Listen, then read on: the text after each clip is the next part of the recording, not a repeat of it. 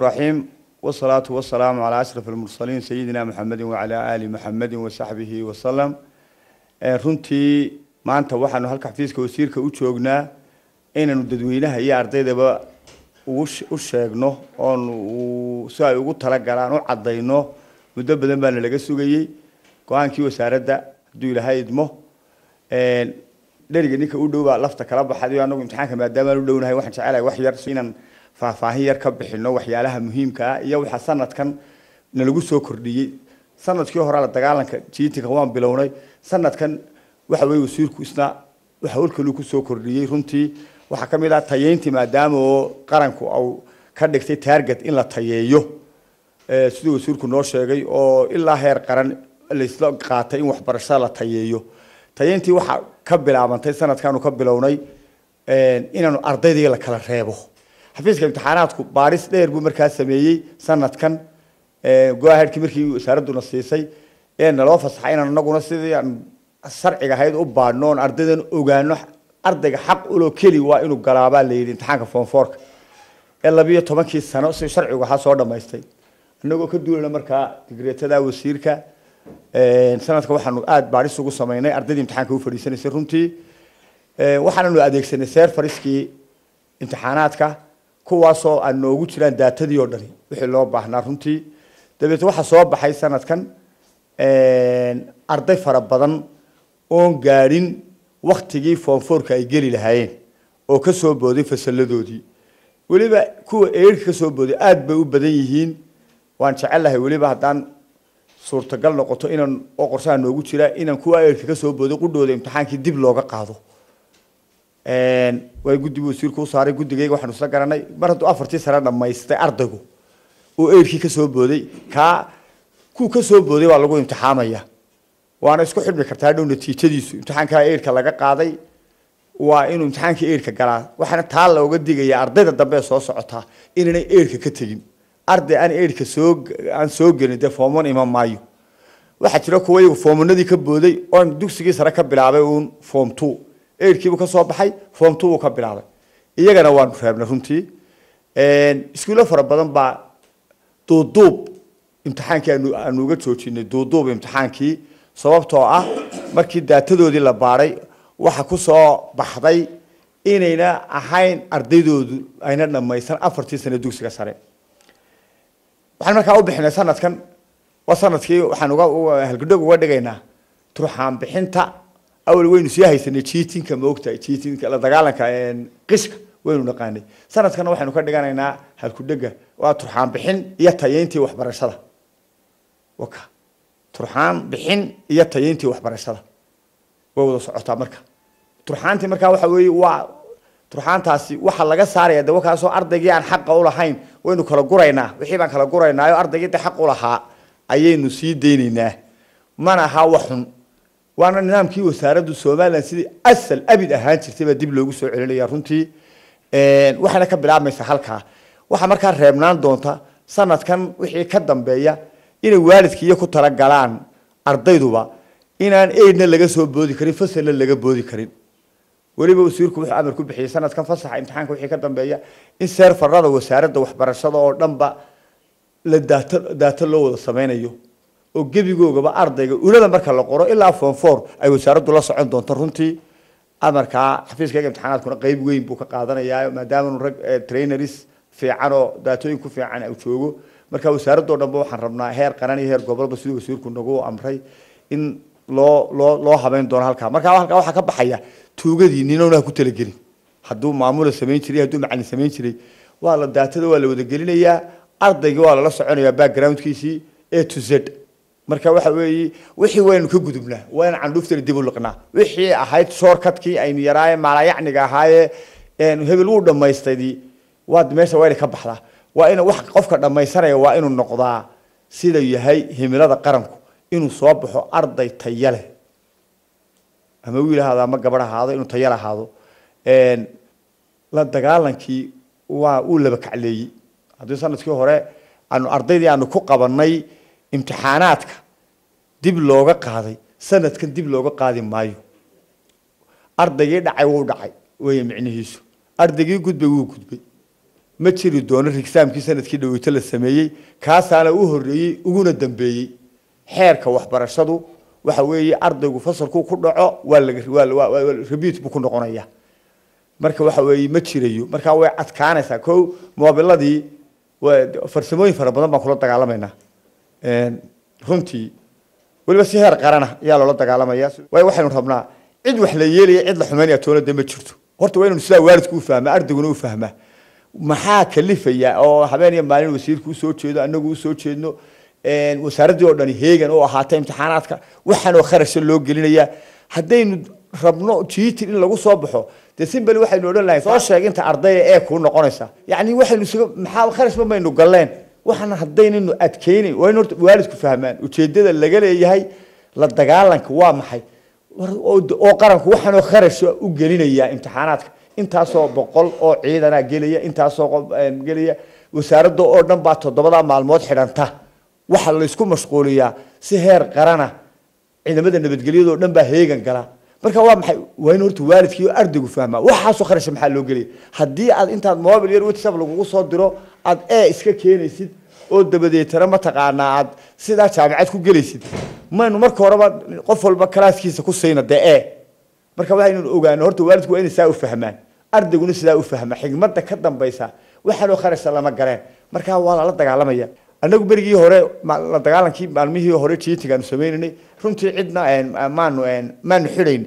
Laakiin imika sharcigu siduu wasiirku noo sheegay imika lagu cafi maayo sannadkii hore haddii la cafiyey sanadkan wixii lagu qabto ama arday ha noqdo ama macalin ha noqdo ama maamulo ha noqdo maamulo dhufays ugula jira carruurta lacag dadka ilaalinayo oo derbi ku gabanaya ha noqdo ama waalid ha noqdo ama cid kastoona kaalmeynaysa ha noqdo waxaana hogaamin doonaa guddi imtixaanaad baa jira shuruuc baa jirta imtixaanaadku leeyahay sharciyaa jira ilaa dhowr iyo toban qodoba oo imtixaanaadka ardayga laga doonaya waxaasoo dhan siduu wasiirku sheegay goboladana waa la gaadhsiinaya aariyooyada subrofisariskana waa lala hadli doonaa wasiirkaa la hadli doonaa annagaa la hadli doonaa waa la sii dhaarin doonaa hawl fari kama qodna.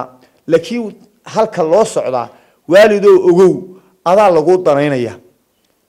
Inankaagan ama inantaadan baa la rabaa inay aanu tacab khasaar ku dhicin. Waxaa loo guclaynayaa ee loo dagaalamaya ma aha cadaawad.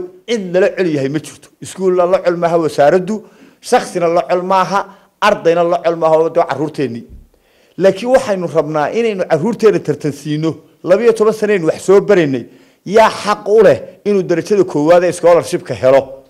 Waayo mar walba waxaad lagu dacaydiyaa wasaaradda. Scholarshipka cadaalad daraa lagu bixiyaa. Scholarshipka kan baa lagu de cadaalad daradii waxaa ka koowo waalidoo mobilkan aad ilmaha u soo dhiibayso. Eed leedahay hal whatsappka imtixaanka hooyo ka dirso oo aabba ka dirso aad leedahay bade adigiiba cadaalad daradii bilaabaya. Marka yaad canaananaysaa hadhowna eedii wasaaradda aad leedahay. Ciddii la doonaa la siiyey. Mid aan waxba gelinayn de haddii la siiyey yaa sabab u noqday. Mobilkaasaa dee u noqday.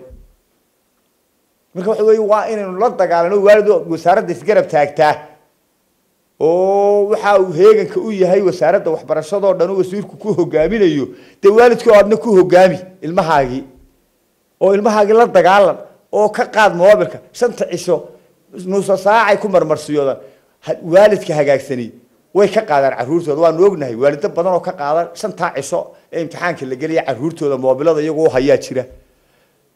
Dee kuway ka adkaadeenna ilaahay naxariisto. Marka waxaa loo socdaa waalido waxa weeye waa ilmahaagaa aayihiisaa laga talinaya. Wasiirku ilmaha u dhalay maaha daawud kuwaha u dhalay maaha hebel kuwa u dhalay maaha waa caruurtii qaranka oo dariiqii xaqa ahaa lagu toosinayo. Horta ina saa u fahano wey dad baa cunfi ka sameeya caruurtii waa la dhibaya maxaa loo ciqaabaya? Waxbaa loo dhiga carruurta waxbaa loo dhigaa manhaj baa loo diyaariyey manhajkoogaasoo keliyaa lagaga qaadaya imtixaanka. Buugta lagu qaadaya waa buugta calaamadaysanay soo saaro kumbaniga hemo ee wasaaradda waxbarashadu leedahay. Kuwaas ardayda lagu imtixaamaya? Buug kaloo lagu imtixaamaya ma jiro. Kuwa foomfoorka sanadkana kuwii sannadkii hore foomfoor keliyaanu kaga qaadnay imtixaanka waayo buugta goor dambe u timid oo cusbayd. Kuwan iminku foom iyo foom bay qaateen labadaas sano waxaan hayn lagagama imtixaanka. Waa labadaas sano ee buugta haysteen ayuu sili imtixaanku ka kooban yahay. Wasaaradda waxbarashadu waxyaalahay soo kordhisay sanadkan waxaa ka mid a oo wasiirku soo kordhiyey dhagoolayaasha dhib bay ku qabi jireen. Runtii ardayda imtixaanka inay la galaan sanadkan wasaaraddu way caawisay dhagoolayaasha macalimiin afar bilooda ayoo seminaara iyo wasaaradda waxbarashadu u qabatay. Macalimiintii signaliska ahayd iyo afar bilood gaar wax dhigayay imtixaan gaarana waanu samaynay markaa taana waan ku hambalyanay wasaaradda waxbarashada oo hawsha aada noogala qayb gashay runtii wasiirku kow ka yahay waa arrin iyaduna cusub oo sanadkan nagu cusub. Awal imtixaankaa caadiga dadka la geli jireen laakiin sanadkan imtixaan gaaraanu samaynay dhiirigelintana wasaaradda runtii lahayd. Agaasinka waaxda dhagoolayaashaasna aada noogala shaqeeyey. Iyaduna waa waa dadkeenii oo dee maqaadiir ilaahay heshay. Markaa lama dayicin awal way ku dhex baabi'i jireen sanadka waxaan rajeynayna inay grade fiican iyaguna keenaan maadaama signalkiina wax loogu soo dhigay imtixaankiina ku gaara oo intii iyaga loogu dhigay signalka lagaga qaadaya hadduu ilaha idmo waxaa kaloo runtii sanadkan nagu soo korodhay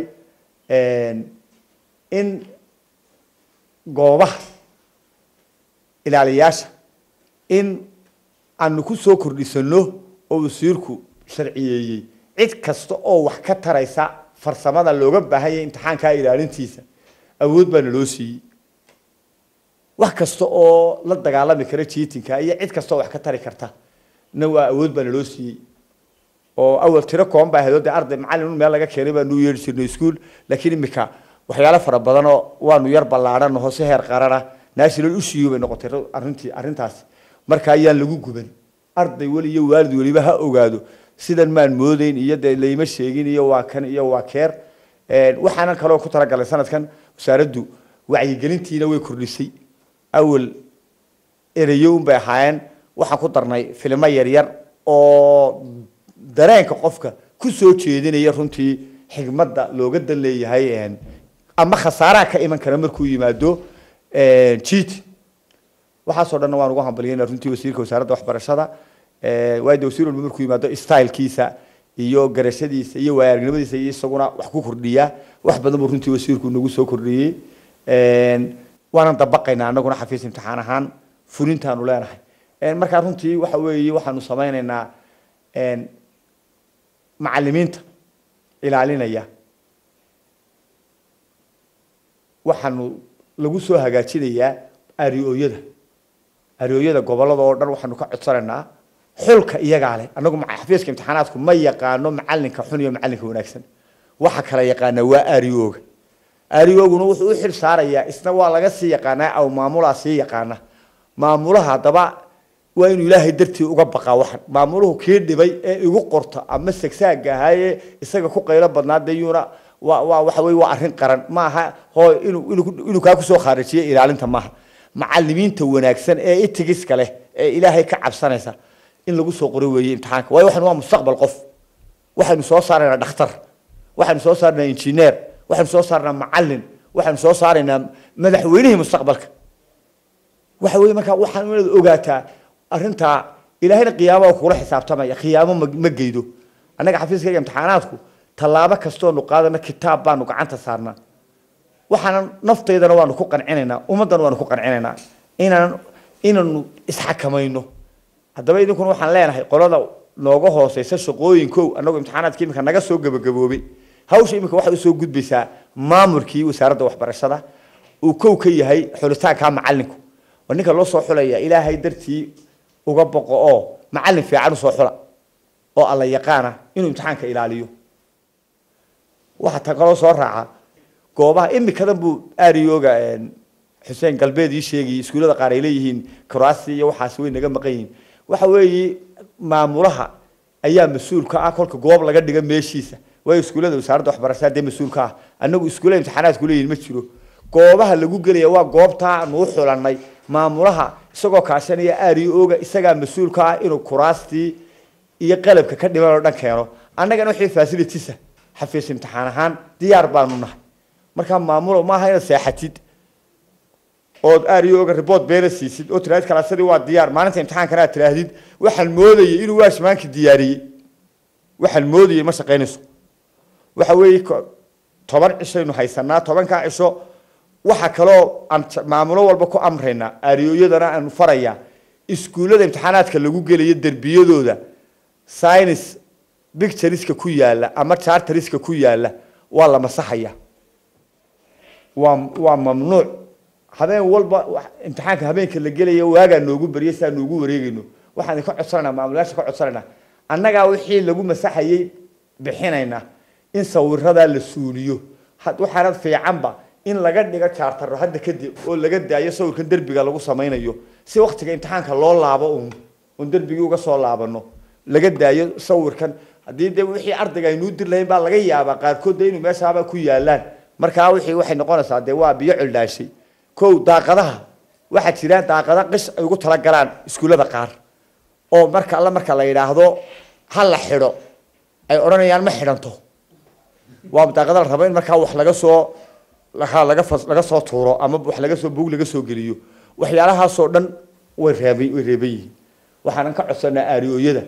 Runtii oo runtii weliba hargeysa halka ugu dhibka badan weeye runtii xaqiiqatan labada aariyo waxaan ka codsanaynaa inay siday isku xilqaami jireen iyo sii ka sii badanba inay sanadkana isku xilqaamaan waayo waxaan rabnaa somaliland inay asalkeedii ku celino tacliinta. Somaliland macalimiinta goobaha imtixaanka lagu geliyo macalino iskuulkiisii ma iman karo.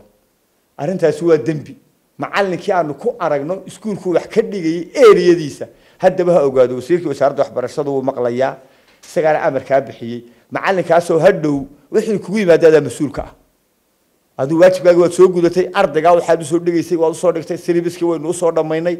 Iminka ardaygii ardaydii baynu tartansiinayna cadaalad baana ku tartansiinayna adiga hawshaadii macalimo waad gudatay. Moobiladan awal sannadkii hore waa la celinayay. Iminka go'aan baanu ka soo saaraynaa inaan iyagana xabsiga ku dari doono iyo in la jejebin doono iyo sidii laga yeeli doono. Ma dhici doonto mobil la celin doonaa kolley sidaan iminka qorshaha noogu jiro. Xeerkii loogu lagu qaban lahaa ka ka fikiraynaa runtii. Waana la keenayaa. Haddii awal lagu celin jiray iminka lagu celin maayo. Waayo laba sano saddex sano aanu celinaynay oo digniin ahayd oo lagu war mobilkaa soo qaadan. Mobilo qaaliyaa ku jiray. Iminka laakiin go'aanka ugu dambeeya digreetaanu ku soo saar imtixaanaadka soo raaci doonto kolley wasiirkaanu soo saxeexi doono. Wixii laga yeelaya halkaasaanu ku soo cadayn doonaa. Moobilada ardayga lagu qabto si laga yeeli doono halkaasaan runtii ku soo cadayn doonaa. Hadduu ilaahay idmo gaadiidka iyo cid kastoo tegaya gaadiidku waxa weeye had iyo jeer gaadiid waxaa jira marmar wasaaradana lagu soo cameeye marka la qaadanayo. Sanadkan ma jirayso. Iyadana amar buu wasiirku ka bixiyey. Gaari aan conditionkiisa taraafigu fasixin nin ona ku soo lugoyn imtixaanka ku aamini mayno. Ha gaadiidka. Gaari aan la hubin. Taana waa nagu soo kordhiyey. Awal inta badan aad waan baabuurta waanu rari jirnay. Laakiin waxaa nagu soo kordhi waa waxa weeye qofka waa inu waa inu warqad siiyaan. Waxaa la qolada ha. Gaadiidku. Waa inay warqad siisaa inuu gaarigaa lagu aamini karo imtixaanka inuu qaado. Ha. Dirawalkadana laysankiisii leeyahay. Una indhala-ayn waayo dhowr jeer ba agsinana dhaceen. Imtixaana lala qalimay. Marka waxaasoo dhan waynu ka wada taxadiri doonaa hadduu ilahay marka shantaa cisho ay nagu soo socoto ilahay waxaan uga rajaynaynaa ardaydana inay si farxad leh oo guula ku galaan. Waktiga imtixaanka gelaysana wax ardayga looga baahayay inuu linmacaanta badsado. Linmacaantu waxbay ha linmacaanta un baad soo badsanaysaa aroortii waxbay tartaa. Ha marka waxa weeye waxaan idin rajaynayaa guul. Gobolladoo dhanna waxaan filayaa inay u diyaargaroobi doonaan way imika wayna soo weydiiyaan. Intaasaan kaga baxayaa wabilahi towfiiq wasalaamu calaykum waraxmatullahi bismi illaahi raxmaan iraxiim alxamdu lilaahi rabbi alcaalamiin wasalaatu wasalaamu calaa rasuulillahi sala allahu caleyhi wasalam ilaahay baa mahad iska leh. Maanta halkan waxaanu wada fadhinaa xafiiskii wasiirka wasaaradda waxbarashada iyo guddoomiyihii imtixaanka imtixaanaadka qaranka iyo guddoomiyeyaashii kale. Waxaanu dhammaantay halkan isugu nimi in aanu uu wasiirku iclaamiyo taariikhda imtixaanka la gelayo shahaadiga ah ee dugsiyada hoose dhexeen sidee fala- kalaaska sideedaad iyo dugsiga sare form four.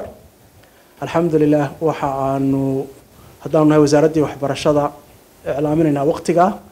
Laba qodob un baan doonaya inaan ka hadlo oo ah sannadkii hore imtixaanaadkii la qaaday iyo sanadkan iyo si aynu wax u u bedelnay imtixaanaadku sanadkan waxaanu ugu talagalnay inuu noqdo imtixaankii ugu adkaa haddii ilaah yidhaahdo oo aanu ugu talagalnay in aanu qishkana ka ilaalino mobilada ka ilaalino wax kasta oo suuragal ah in uu si cadaalada u dhaco. Waxaanu waalidiinta iyo ardaydaba u sheegaynaa imtixaanka inaanu adkayno ugama jeedno inaanu ardaydeeda iyo caruurtayada dhibno laakiin waxaanu uga jeednaa inaanu tayada waxbarashada kor u qaadno. Waxaa kaloo aanu ku barbaarinaa ardayga in aanu noqon in imtixaankii uu qish ku soo baasay uu dhibaato kale hadhow isagu laftiisu keensado waxaanu doonaynaa inaanu soo saarno arday kalsooni leh oo imtixaankii iyagu inay galeen oy baaseen oo ay haystaan darajada ay keenayaan. Waxaan xasuustaa waqtigii aanu anagu imtixaanaadka geli jirnay. Imtixaankaanu galno markaanu ka soo baxno waxaanu garan jirnay probabilityga ugu dhow darajada aanu keenayno. Waxaanu rabnaa tayadii waxbarashada inaanu soo celino oo wasiirku nagu hogaamiyo. Sidii madaxweynaha jamhuuriyadda somalilan uu ka dhawaajiyey ardaygu isagoo bisil oo imtixaankiisii dugsiga eidhka iyo dugsiga sare ka soo baxay inuu jaamacad haweysan karo. Kolley intaasaanu maanta isugu nimi. Wasiirka iga dambeyn doona oo waqtigana iclaamin doona inta dambena ku gulaanadi doona waxaan waalidiinta iyo macalimiinta iyo cid kasta oo ka qeyb qaadanaysa imtixaanka aan kula dardaarmaya in qof kasta wixii uu yaqaano uunu qoro oo la isdejiyo runtii sannadkii dhaweyto dadaal badan baa dhacay. Sanadkan waanu ka sii laban laabaynaa dowladda ciidamada waalidiinta wasaaradda waxbarashada warbaahinta cid kasta waxaanu jecelnahay inay nagala qeyb qaataan oo sida ugu hufan ee ugu wanaagsan uga qeyb qaataan.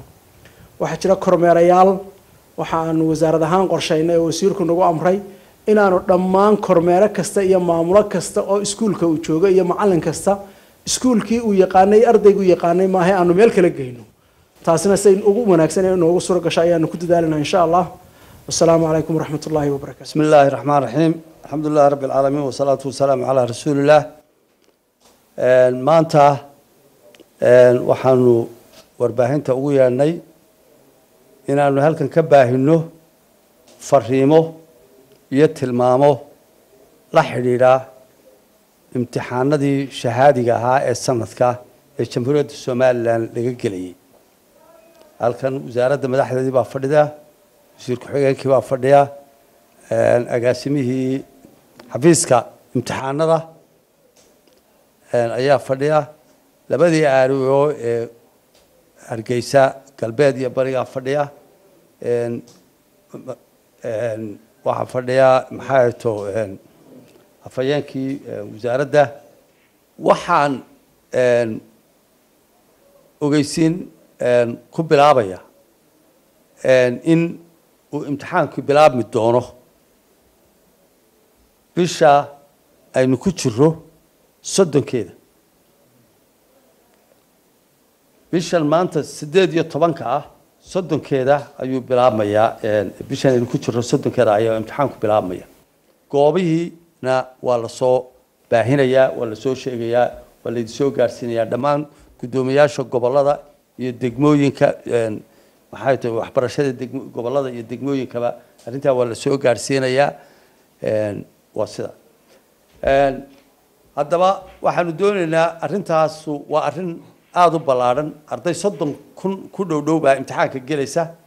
Arrin in arrintaa la hirgeliyaa arrin sahlan ma aha. Waxaanu marka halkan maanta ka diraynaa baaqyo aanu rabno in ay muddo socdaan si ay bulshada u wada gaadhaan oo loola wada socdo waxaanu u baahinaynaa fariimaha ardayda.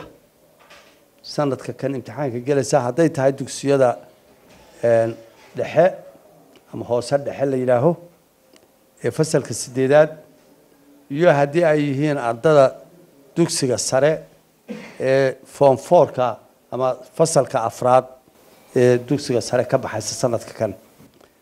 Waxaanu u baahinaynaa fariimaha waalidkooda ardada iyo waalidkooda waxaanu u baahinaynaa een, maxay to macalimiintooda waxaanu u baahinaynaa dadweynaha guud ahaan in fariimaha si adag loo qaato oo loo arko oo lagu dhaqmo. Fariimaha kuwa ugu horreeya ee aanu baahinaynaa waxa weeye arday een, siddeed iyo labaatan kun ku dhow inay imtixaankaa gelayso oo siddeed iyo toban kun iyo dheeraad ay yihiin kuwa eh, dugsiyada dhexe Een, sagaal toban kun oo dhow dhowna ay yihiin kuwa dugsiyada sare eh, fasalka afraad gelaya. Guud ahaan marka la isu geeyo waa siddeed iyo labaatan kun iyo dheeraad ardada imtixaanka gelaysa waxaa fariinta ugu adag ee aan rabno inaanu gudbino waxa weeye in aanaan ogolayn ama aada looga shaqaynayo aada looga taxadirayo wixii la odhan jiray qishka. Wasaaraddu inay la dagaalamayso qishka oo aanay ogolayn oo sidii caadada muddo badan u ahayd in imtixaanka laga soo shaqeeyo oo cid uga soo shaqayso oo loo soo diro ama la kala eegto ama siyaalo sahlan maxay too imtixaanada loo loo dhaafo in arrintaasu ay isbedeshay oo aan wasaaraddu u dulqaadanayn. Dagaal xooglena ay ka gelayso sidaa daraaddeed waalidka iyo ardayda iyo macallimiinta cid walba waxaanu uga digaynaa inaanu qishkii la dagaalamayno ciddii lagu qabto. Ee joojin weyda. Inay mutaysan doonto in imtixaanka laga baabi'iyo oo laga kaxiyo ciddii carruurta ku gacan qabata ama ku caawisa ama gacan ku siisa in ay wax qishaanna. Hadduu waalid yahay oo aanu ogaano iyo hadduu macallimiinta yahay iyo hadduu yahay dad kale oo waxaa ku shaqaysta. Intaba inaanu gacan ku dhigi doono aan lana saamixi doonin maxkamadda la geyn doono laguna xidhi doono. Haddii ay hore u dhacday in aan lagu dabagelin waxay ogeysiinaynaa iminka inaanay arrintaasu dib u dhici doonin ee arrintaa aanu lala dagaalamayo oo aan la ogolayn. Waxaanu fariin u diraynaa ilaaliyayaasha imtixaanada ilaaliyaal badan oo kuwii hore ka duwan ayaa noo qorshaysan inaanu sanadkan keenno. Waxaanu haddaba uga digaynaa kuwaa iyo kuwii horeba. Iyaga qudhadkoodu haddii ay ku caawiyaan ama u ogolaadaan ardadu inay qishto waxaanu ogeysiinaynaa iyaguna ciqaabaha ay mutaysan doonaan kuwa dibadda ka soo caawinaya iyaguna inay mutaysanayaan waayo dee qofku hadduu ardadii isku sii daayo oo kale ilaalin waayo qofkii lagu qabto macallin ha ahaado. Dadka kale aanu damacsannahay inaanu keenno ha ahaadeen. Haddii lagu qabto inay u ogolaanayaan ardadii inay qish samayso iyaguna waa la dembi kuwaa dibadda ka soo caawinaya. Iyaga qudhadkoodu waxaanu u sheegaynaa inay taa mid lamida mutaysan doonaan. Waxaanu dhammaan ka codsanaynaa madaxda gobollada.